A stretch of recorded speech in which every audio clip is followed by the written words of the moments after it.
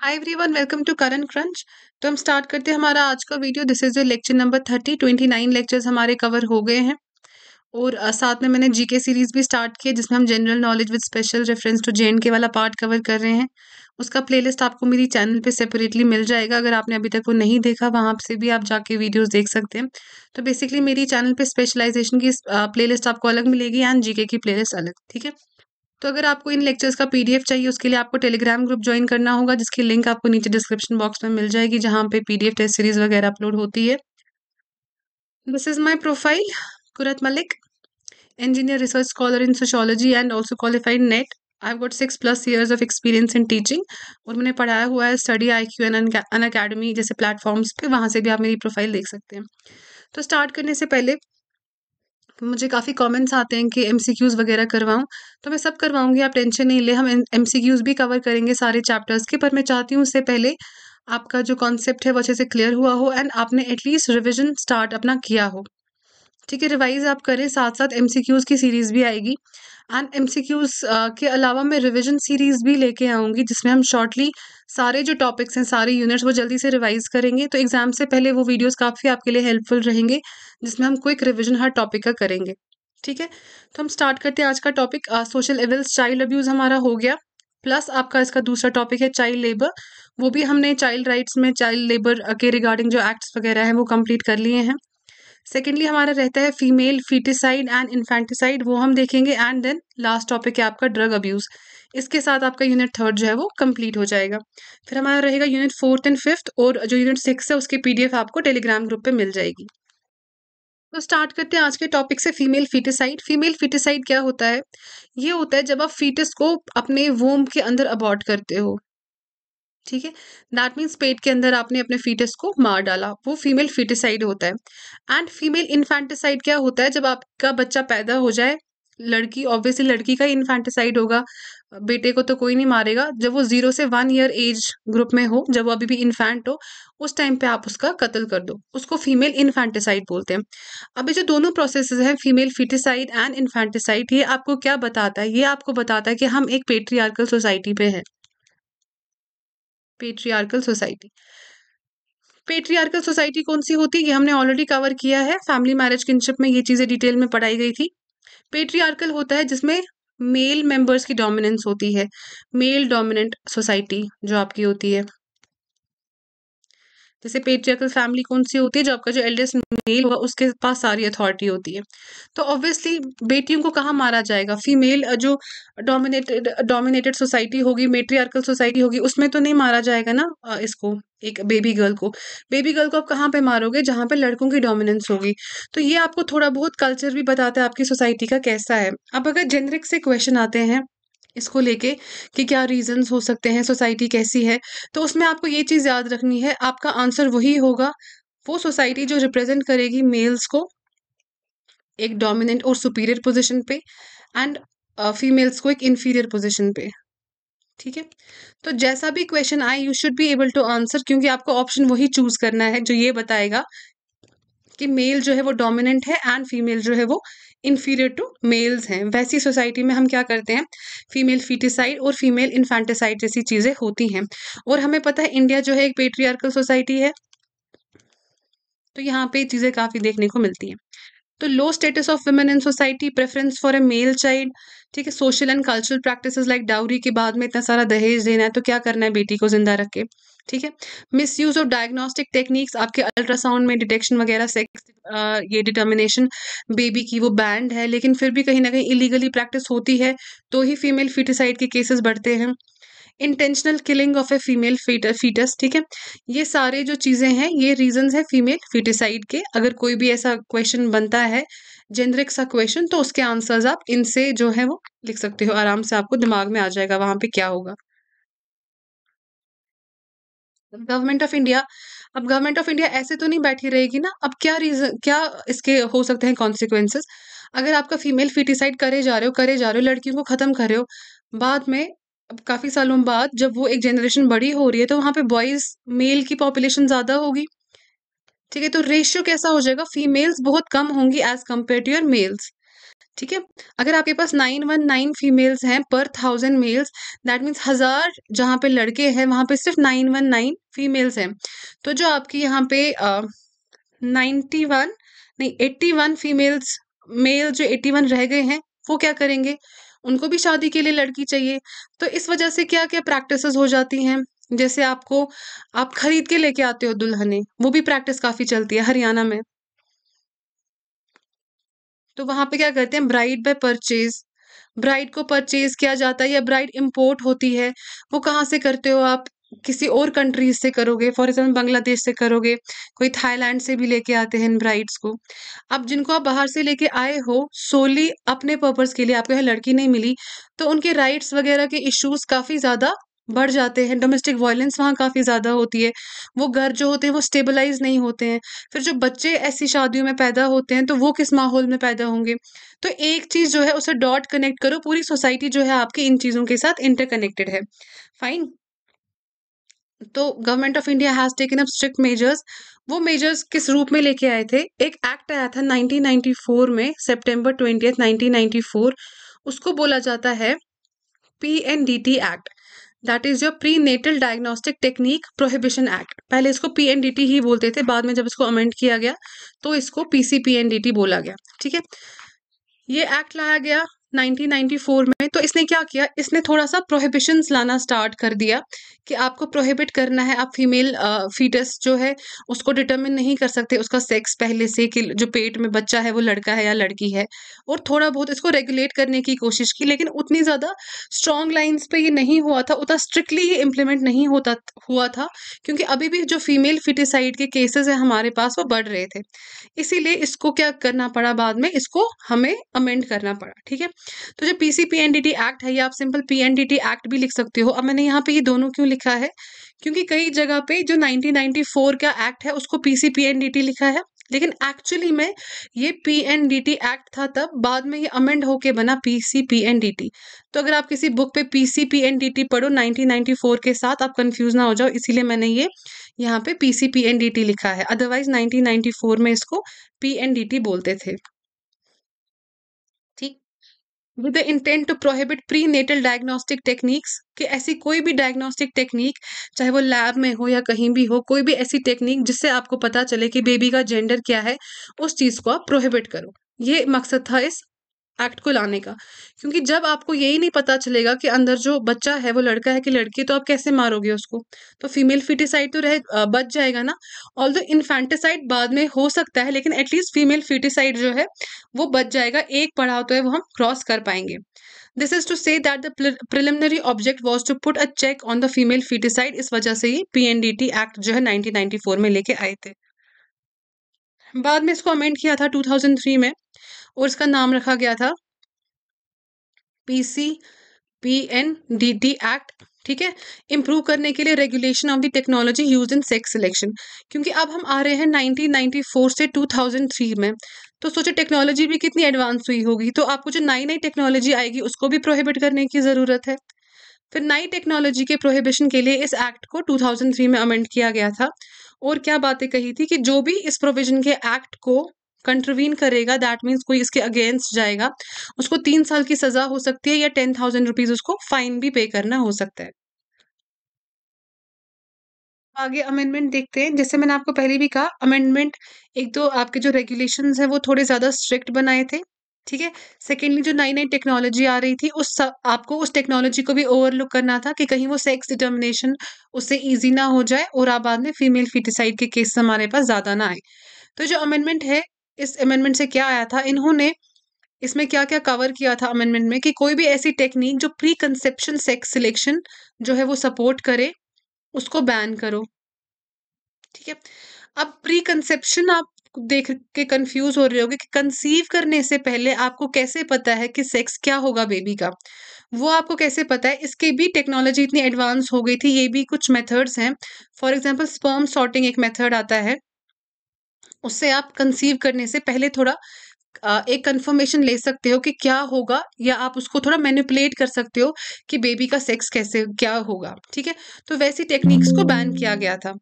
अब देखो थोड़ा-सा मैं आपको स्पर्म सॉर्टिंग का बताती हूँ ताकि आप इस चीज़ को लेके कन्स कन्फ्यूज़ ना हो जाओ कि प्री कंसेप्शन सेक्स सिलेक्शन कैसे हो सकता है, कि कंसीव करने से पहले ही आप डिटर्मिन करो कि बेबी का जेंडर क्या होगा। अब हमें पता है female chromosomes XX and male आपका XY है। फिर ये मिलता है अगर XX के साथ तो गर्ल बेबी होती है एंड एक्स अगर मिलेगा लड़के के वाई के साथ एक्स वाई तो बॉय बेबी होता है। तो बेसिक चीज़ है जो हमने साइंस में बचपन में स्कूल्स में पढ़ी है, ठीक है? तो आप स्पर्म सॉर्टिंग से ये डिसाइड करवाते हो लड़की का तो हमेशा एक्स क्रोमोजोम ही आएगा क्योंकि लड़की का एक्स एक्स होता है आप स्पर्म सॉर्टिंग से ये दिखवाते मीन्स ये मैनिपुलेट करते हो कि लड़के से एक्स क्रोमोजोम आएगा या वाई क्रोमोसोम आएगा। काफ़ी डिटेल्स में आपको नहीं जाना, बस हल्का आपको प्री कंसेप्शन का बताने के लिए ये यहाँ पे मुझे बताना थोड़ा ज़रूरी लगा कि आप इसमें कंफ्यूज ना हो जाओ। ये वो टेक्निक है। इतनी सिंपल नहीं है जितना सिंपल पेपर पे लग रहा है, लेकिन टेक्नोलॉजी इतनी एडवांस हो गई थी कि लोग ये भी कर सकते थे एंड कर भी रहे थे। ठीक है? तो इसको क्या किया? इसको बैन किया गया। पीसीपी एनडीटी एक्ट के under and ultrasound and amniocentesis जो है, वो भी ऐड किया इस अमेंडमेंट में. अब अल्ट्रासाउंड जैसे डॉक्टर से आप लिखवा के लाओ कि ये वाला अल्ट्रासाउंड काफ़ी ज़रूरी है, एक पर्टिकुलर अल्ट्रासाउंड क्योंकि बेबी में कुछ एबनॉर्मेलिटीज़ डेवलप होने के चांसेस हैं. डॉक्टर ऐसा आराम से कुछ पैसों से आपको लिख के दे सकता है, ठीक है? उसके बाद आप अल्ट्रासाउंड जो आप करोगे, वो एबनॉर्मेलिटी डिटेक्ट करने के लिए, वो एक्चुअली उस अल्ट्रासाउंड में आपको ये भी डिटर्मिन करेगा कि बेबी का जेंडर क्या है. तो ऐसी सब चीज़ें इसमें मना की गई। एंड एमनियोसेंटिसिस ये भी नाम याद रखना, इसको भी लाया गया within its ambit amniocentesis क्या होता है? जो बेबी आपका पेट में होता है, वो एक एमनियोटिक फ्लूड में होता है। एमनियोटिक फ्लूड के अंदर होता है वो। अगर आप उस फ्लूड का कोई पोर्शन ले लो, उससे भी आप बेबी का जो जेंडर है वो बता सकते हो। तो उस चीज़ को हम बोलते हैं एमनियोसेंटेसिस वो भी क्या किया गया था, इसमें बैन किया गया था। एक सेंट्रल सुपरवाइजरी बोर्ड जो है, उसको एम्पावर किया गया था कि वो ओवरलुक करेगा ऐसी चीज़ों को। और कहा था स्टेट लेवल पे भी ऐसे सुपरवाइजरी बोर्ड जो है, वो इस्टेब्लिश करो। मोर स्ट्रिंजेंट पनिशमेंट्स पनिशमेंट जो है, काफ़ी ज़्यादा इंक्रीज करी गई थी। ठीक है and national monitoring and implementation committee बनाई थी, जो मॉनिटर करेगा कि एक्ट सही से इम्प्लीमेंट हो रहा है कि नहीं। और इस एक्ट के अंडर कोई भी अगर ऐसा ऑफेंस करता है, जो इस एक्ट में चीज़ें बैन की गई हैं, इस एक्ट ने जो चीज़ें बैन की हैं, आप फिर भी वो चीज़ें कर रहे हो तो उस ऑफेंस को कॉग्निजेबल बोला जाएगा। कॉग्निजेबल नॉन कॉग्निजेबल ऑफेंसेस मैंने आपको समझाया कि आप इमिजिएटली पुलिस जो है अरेस्ट कर सकती है and without any magisterial order court के ऑर्डर के बगैर भी अपने एंड पे इन्वेस्टिगेशन स्टार्ट कर सकती है। तो इसको कॉग्निजेबल ऑफेंस जो है वो बनाया गया। और क्या क्या इनिशिएटिव लिए थे against sex selective abortion Beti Padhao, बेटी बेटी बचाओ, बेटी पढ़ाओ। तो आपको इंसेंटिव्स मिलते थे गवर्नमेंट से, ठीक है? अब बेटी होने पे। तो जब आपको गवर्नमेंट को इंसेंटिव देगी लड़कियों को एम्पावर करने के लिए तो नेचुरली ये केसेस डिक्लाइन हो जाएँगे। 2015 में लेके आए थे। ये एड्रेस करता था issue of declining child sex ratio and empower करना गर्ल्स को through awareness education and protection ठीक? National action plan for children 2016 इसमें भी इंक्लूडेड था। एलिमिनेट करना जो भी जेंडर बायस सेक्स सिलेक्शन होती है as one of the key priorities for children's right and wellbeing जैसे मैं आपको बार बार बोलती हूँ। अगर किसी पहले क्या होता था इनफैक्ट अभी भी रूरल एरियाज़ में कहीं सिटीज़ में भी होता होगा, कि अगर आपके पास इतने ही पैसे आप एक बच्चे को पढ़ा सको और आपका बेटा भी है, बेटी भी है तो आप बेटे को पढ़ाओगे। अगर आपके पास इतने ही पैसे हैं कि आप टॉय सिर्फ़ एक के लिए लेके आओ तो आप बेटे के लिए लेके आओगे। ऐसी सारी चीज़ें जो दोनों के वेलबींग के लिए इंपॉर्टेंट होती हैं, लड़के के लिए भी, लड़की के लिए भी, वैसा एनवायरनमेंट उसमें कोई बायसनेस ना हो, उसको एलिमिनेट करने के लिए national plan of action for children 2016 आया था। इसमें फिर काफ़ी आगे पॉइंट्स थे। उतना डिटेल में अगर आप याद नहीं भी रखोगे, ये याद रखो कि सीयर में आया था। एंड इसका क्या ऑब्जेक्टिव था? ठीक है? अब इंडिया में हम देखते हैं सेक्स रेशियो क्या है। मैंने कहा, अगर आज आप फीमेल फिटिसाइड कर रहे हो, लड़कियाँ मार रहे हो, मार रहे हो, जब इस वाला जो ग्रुप है जनरेशन का, जब ये बड़ा हो जाएगा, वो डिटर्मिन करेगा तब का सेक्स रेशियो क्या होगा? क्योंकि जिन लड़कियों को आपने पैदा होते ही मारा, वो तो आगे गए ही नहीं। तो हमारे पास कम ही फीमेल्स रहेगी as compare to thousand males तो सेक्स रेशियो अकॉर्डिंगली हमारा डिक्लाइन हो जाएगा। अगर हम इंडिया के केस में देखें तो कुछ इंप्रूवमेंट हुई थी सेक्स रेशियो की 1991 से लेकर 2011 के इसमें ईयर में, ठीक है? 1991 टू 2011 तो ये डेटा है आपका सेंसस का। सेंसस का अभी आप डेटा 2011 का ही लेते हो, क्योंकि 10 इयर्स के बाद रिपीट होता है 2021 में कोविड की वजह से डिले हो गया था, ठीक है? तो 1991 में हमारे पास डेटा था 927 फीमेल्स पर थाउज़ेंड मेल्स और ये इंक्रीज होके हमारा 943 फीमेल्स पर थाउज़ेंड मेल्स हुआ था। How there has been a dip in child sex ratio जो है, वो कम हो गया है फ्रॉम 945 फीमेल्स पर thousand males nineteen ninety one nineteen ninety one में आपका कितना था? नाइन फोर्टी फाइव फीमेल्स तो वो कितना हो गया आपका? Nine hundred nineteen two thousand eleven में। ठीक है? तो इसमें आपका डिप आपको देखने को मिला है चाइल्ड सेक्स रेशियो में। आपका डिक्रीज हो गया है। लेकिन अब जनरल सेक्स रेशियो अगर देखो तो वो आपका इंक्रीज हुआ है। तो इसका रीजन सिर्फ़ अगर आप सोचोगे, मैंने अभी आपको कहा चाइल्ड सेक्स रेशियो अगर आप बच्चे को मारोगे तो वो जब बड़े हो जाएँगे तो वहाँ पे सेक्स रेशियो कैसे इंक्रीज होगा? इसमें काफ़ी और चीज़ें आती है। माइग्रेशन से भी लोग आते हैं रहने के लिए, ठीक है? तो वो सारी चीज़ें भी इसमें जब आप बड़े हो जाते हो, फिर जब आपका सेक्स रेशियो निकालते हैं, सारे उसमें इंडियंस थोड़ी होते हैं। कुछ माइग्रेट होके आए होते हैं, शादी की वजह से जॉब की वजह से। तो वहाँ पर भी आप डेटा लेके वो चीज़ दिखा सकते हो कि इंक्रीज हुई है। बेसिक आपको पता चलता है फीमेल फिटिसाइड का आपके चाइल्ड सेक्स रेशियो पे जो आपका डिक्लाइन हुआ है। और इसमें जो जे एंड के है, इस टाइम पे थर्ड वर्स्ट परफॉर्मिंग स्टेट है आफ्टर हरियाणा एंड पंजाब इसका डेटा हम आगे देखेंगे.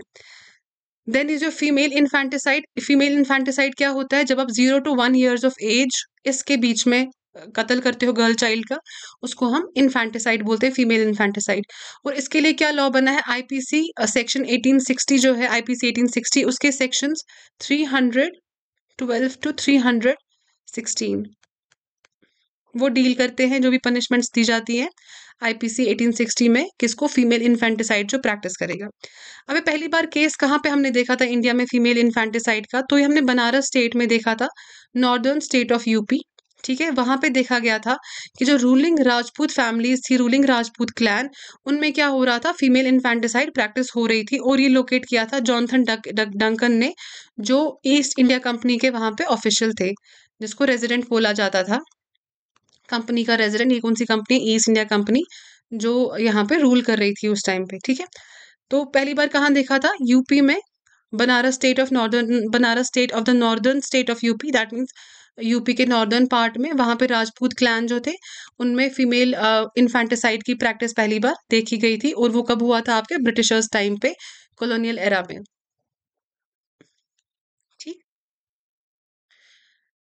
तो लॉ अगेंस्ट फीमेल इन्फेंटिसाइड क्या है? आपके इंडियन पीनल कोड 312 टू 316 वो डील करते हैं इससे। आगे देखते हैं medical termination of pregnancy act ये हमने पिछले वुमेन्स राइट में भी डिटेल में पढ़ा है, इसका डिटेल आपको वहाँ पे मिल जाएगा एंड आई एम श्योर आपने वो पढ़ लिया होगा वहाँ पे। यहाँ पे आप ये देखो, ये एक्ट लाने की ज़रूरत क्या थी? क्योंकि आपको अबॉर्शन को लीगलाइज भी करना था। कुछ केसेस में अगर माँ की जान को खतरा हो या बेबी की जान को कोई अबनॉर्मलिटी है, उसकी जान को कोई खतरा हो आगे जाके तो इस वजह से इन केसेस में आपको जो अबॉर्शन था उसको लीगलाइज करना पड़ा।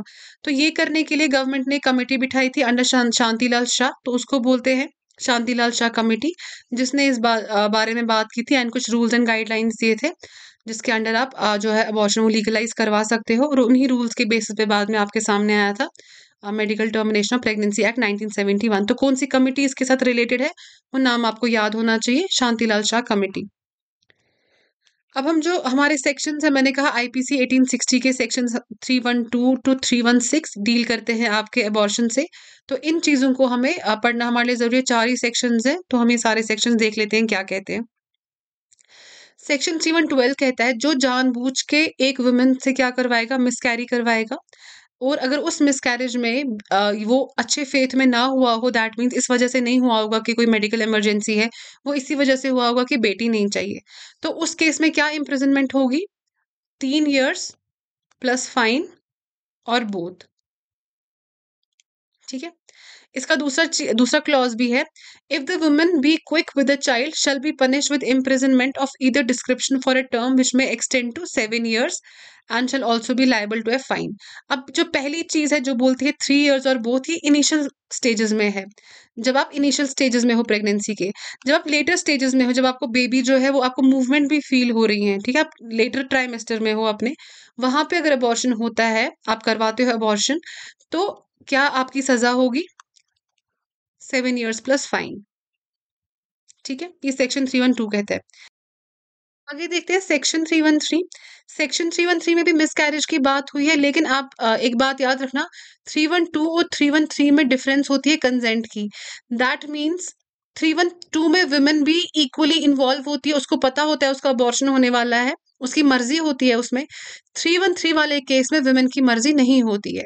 तो थ्री वन थ्री सेक्शन में हम और एक चीज़ ऐड करते हैं दैट इज़ विदाउट कंसेंट ठीक है?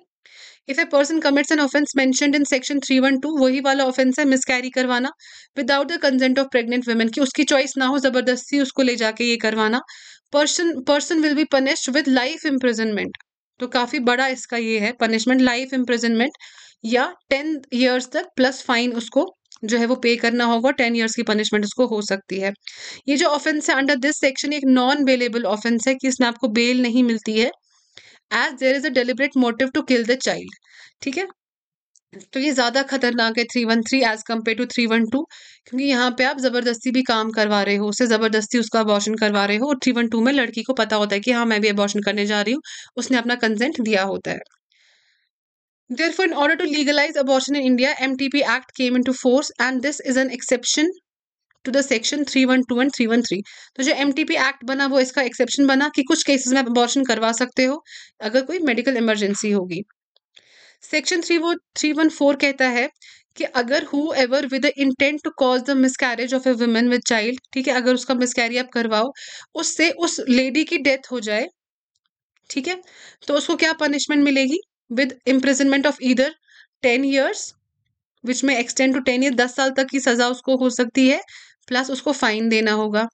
ये क्या कहता है? सेक्शन थ्री वन फोर तो जैसे मैंने आपको कल भी कहा था नोट्स में आप क्या करोगे? शॉर्ट फॉर्म में ऐसे करके लिख सकते हो। Section three one four ten years plus fine और थ्री वन फोर में क्या ऐड होगी चीज़? अगर डेथ हो गई। ठीक है? अगर वुमेन की कंसेंट के बगैर ये करते हो तो इम्प्रिजनमेंट फॉर लाइफ आपको मिल सकता है, ठीक है? दैट मीन्स आपने वुमेन की कंसेंट के बगैर उसको एबॉर्शन करने ले गई ज़बरदस्ती ले गई और वहाँ पे उसकी डेथ हो गई तो आपको लाइफ इम्प्रिजनमेंट हो सकती है।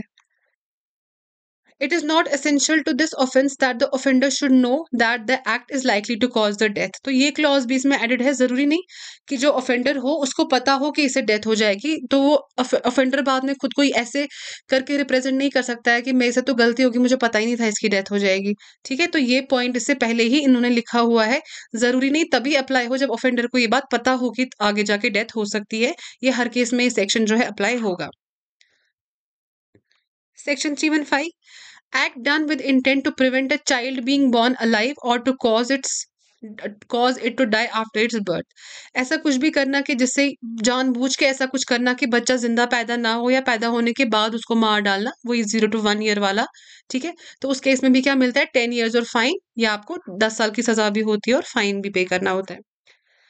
थ्री वन सिक्स कहता है causing death of a quick unborn child by an act amounting to culpable homicide culpable homicide क्या होता है? अगर आप किसी के साथ लड़ाई करो, और लड़ाई आप इस इंटेंशन से करो कि मैं इसको इतना मारूँगा, आज कि मर जाएगा या इतना मारूँगा, ये इतना जख्मी हो जाएगा कि फाइनली ये मर ही जाएगा। कि मतलब उसको अधमरा कर दूँ या उसको कंप्लीटली मार दूँ। आप इंटेंशनली ये करते हो, ठीक है?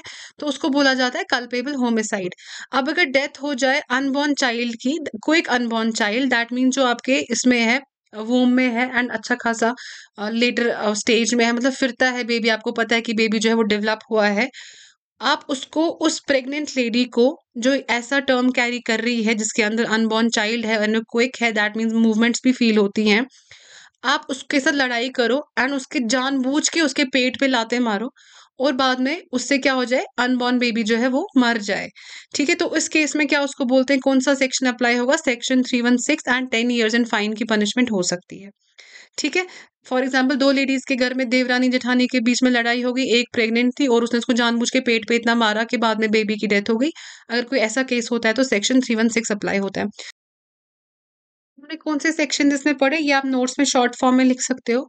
कम ही सेक्शन है तो आपको याद रखने होंगे। Three one twelve three one thirteen three one fourteen three one fifteen and three one sixteen three one twelve क्या कहता है? अगर कंजेंट होगा वुमेन का और मिसकैरी करवाओगे तो क्या पनिशमेंट होगी? Three one third, three one three किसकी बात करता है? विदाउट कंजेंट अगर ऐसा होगा। थ्री वन फोर क्या कहता है? अगर इस प्रोसेस में उसकी डेथ हो जाएगी वुमेन की तो क्या सजा होगी? थ्री वन फिफ्टीन क्या कहता है? कि अगर आप ऐसा कुछ करो बेबी अलाइव बॉर्न ना हो, या पैदा होने के क्विक बाद आप उसकी, आप उसको बेटे मतलब बेबी को मार डालो एंड उसकी डेथ हो जाए। तो थ्री वन फाइव अप्लाई होगा। थ्री वन सिक्स किस केस में अप्लाई होगा अगर? वो एक कल्पेबल होमिसाइड होगा। ठीक है इजी है, ज़्यादा डिफ़िकल्ट नहीं है याद रखना, ये आप याद रख सकते हो, इतना यहाँ पे भरोसा है। ले ये डेटा देख लेते हैं, ये हमारे लिए इंपॉर्टेंट है देखना, क्योंकि जे के ने काफ़ी नाम रोशन किया है इसमें। सेंसस 2011 के अकॉर्डिंग पहले इंडिया का देखते हैं सीएसआर क्या था? 2011 में 9114 ठीक है, और वो 2001 में कितना था? 927 दैट मीन्स डिप हुआ है चाइल्ड सेक्स रेशियो में इंडिया में। अब देखो जे के में कितना डिप हुआ है, ये 2001 का डेटा है एंड ये 2011 का डेटा है, ठीक है? तो टू थाउज़ेंड वन में क्या था? Nine forty one and two thousand eleven में क्या है? एट सिक्सटी टू पर थाउज़ेंड मेल्स पर थाउज़ेंड बॉयज़ ये चाइल्ड सेक्स रेशियो है जे एंड के का। तो जे एंड के का सबसे ज़्यादा डिप हुआ है, अगर बाकी सारी स्टेट्स देखे, उसके कंपैरिजन में। एंड इस डिप ने जे एंड को क्या बनाया है? थर्ड वर्स्ट स्टेट बनाया है चाइल्ड सेक्स रेशियो में आफ्टर हरियाणा एंड पंजाब अब देख लो, इतने ज़्यादा वो पनिशमेंट के बाद, इतने स्ट्रिक्ट रूल्स के बाद, ये सब लाने के बाद डायग्नोस्टिक लैब्स को इतना ये ओवरलुक किया जाता है, कितनी कमिटीज़ बनती हैं, वो सब कुछ के बाद भी जो है चाइल्ड सेक्स रेशो डिक्लाइन हो रहा है। दैट मीन्स फीमेल फिटिसाइड चाहे इलीगली ही चोरी चोरी ही, किसी ना किसी तरीके से हर जगह ऑलमोस्ट हो रही है। And this practice needs to stop अगर एक रेशियो को बैलेंस में लाना है। तो हम यहाँ पे स्टॉप करते हैं। नेक्स्ट हमारा ड्रग एडिक्शन स्टार्ट हो जाएगा। हमारा स्टार्ट नहीं होगा, हम सिलेबस कवर करेंगे। तो वो थोड़ा लंबा टॉपिक रहेगा, उसमें काफ़ी एक्ट्स आपको पढ़ने तो मैं एक ही वीडियो सेपरेट वीडियो में ही लाऊँगी, अगर इसमें आधा वो पढ़ाऊँ तो फिर आप बाद में कन्फ्यूज़ हो जाओगे, ठीक है? तो नेक्स्ट में हम स्टार्ट करेंगे ड्रग एडिक्शन वाला सिलेबस तो till the time I upload next video bye take care have a great day